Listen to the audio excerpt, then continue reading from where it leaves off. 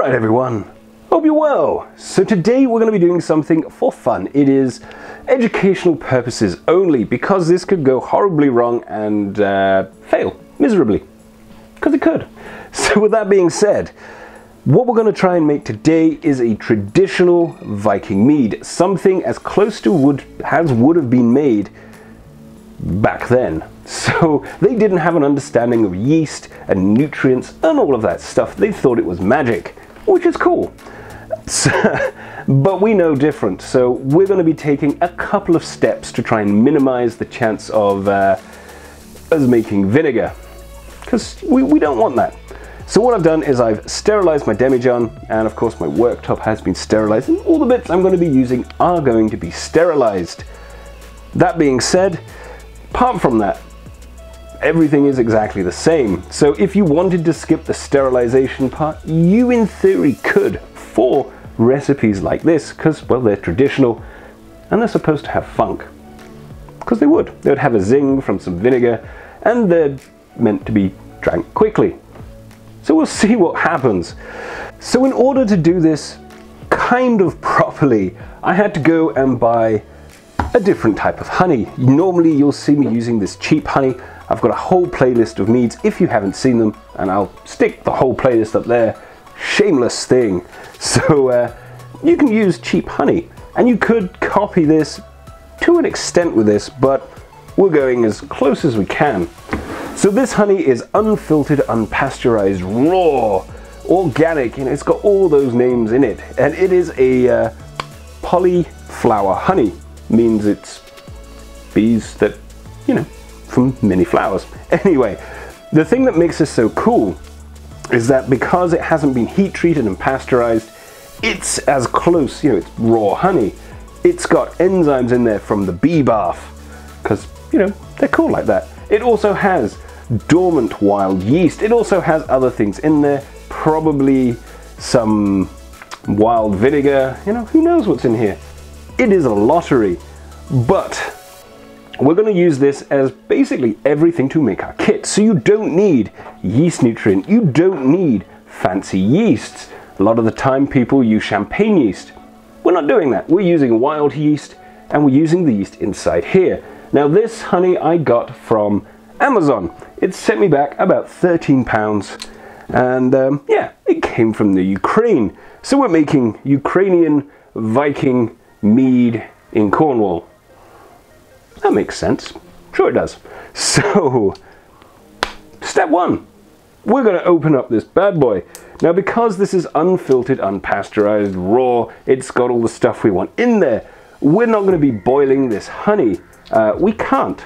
We can't heat this honey above 30 degrees, which uh, going to be a little bit of a problem because uh, this honey is solid as a rock. but it does smell good. I will say it does smell good. Got a spoon.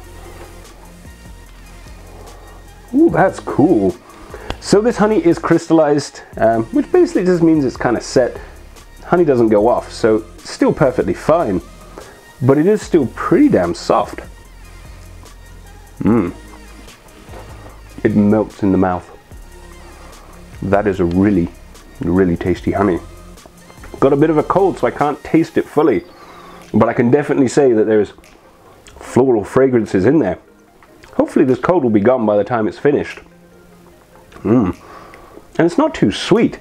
According to this, per 100 grams, there is 75 grams, 74.8 if you want to be exact, grams of sugar per 100 grams of honey.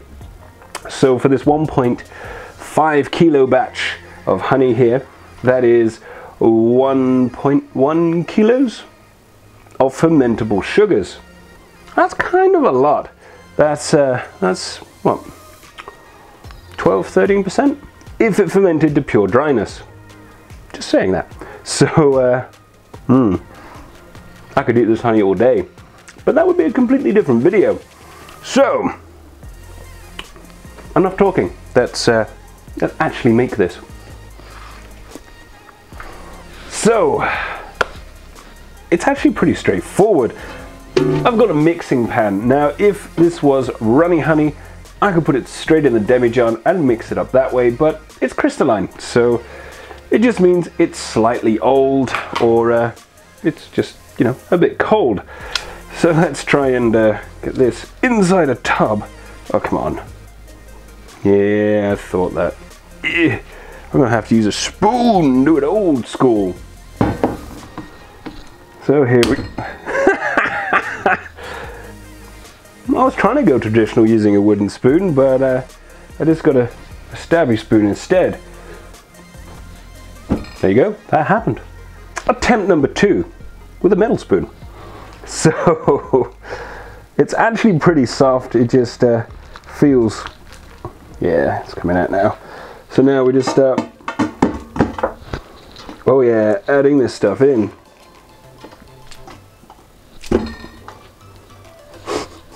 So our honey is in the pan. Uh, funny enough, the metal spoon didn't break.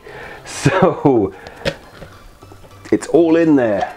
Oh yes, there's no going back now. So because this honey is slightly crystalline, it is pretty soft, but it needs a little bit of help. We need to add in some lukewarm water. It needs to be lukewarm. We can't have it like 40 or 50 degrees. It's about 25 degrees at most. You know, it's just tepid water like you were making bread. It's the easiest way to say. So in goes our water because we need to mix this up. And uh, let's just stir until it dissolves.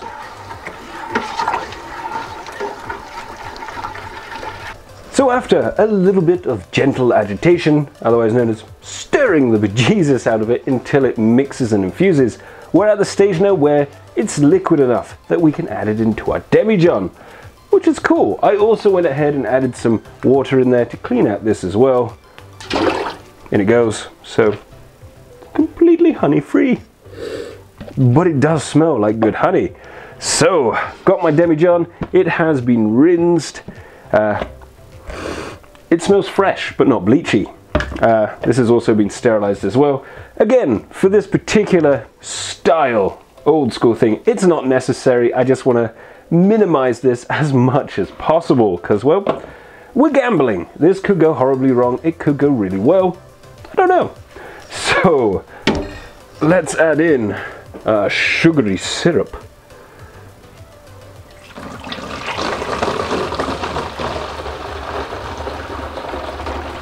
Look at that.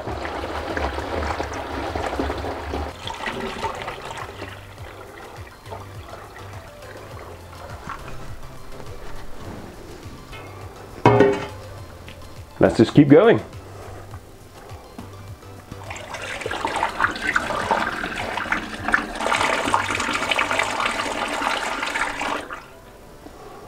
About there. So you may have noticed I had the kettle up high that is introducing aeration into this brew. Because, well, this is a wild yeast. Uh, usually you don't need that much aeration, but since there is so little yeast in here, I mean, we're gambling on the yeast, we want it to come alive as quickly as possible. This is where good aeration is actually necessary. Uh, a lot of the times, all that stuff you see, not really needed. So, now we need to mix this up. So let's uh, tighten the lid on shake the life out of it. So, it has now been shaken. It's looking fairly well mixed. Now, this is normally where we would take a hydrometer reading, but we're going traditional, we're going old school. We know there is approximately 1.1 kilos of sugar in here, and because, uh, well, we did some math.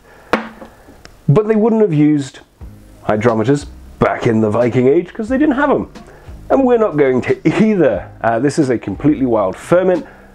Potluck, we'll see what happens. So all we've got to do, now it's been aerated and mixed, open the cap and just lightly put it on. Now it is going to be a bit sluggish. It should take about three or four days to actually build up enough momentum to start brewing. And then it'll be at the starting point. And basically we just leave it alone. We don't add anything to it. Now, hopefully, this will take about one month, if it works and doesn't grow mold. it's not going to be a dry mead, it is going to be a sweet mead. It is using wild yeast and I have no idea what's going to happen. That's half the fun. So, there we go. A completely random and probably useless video.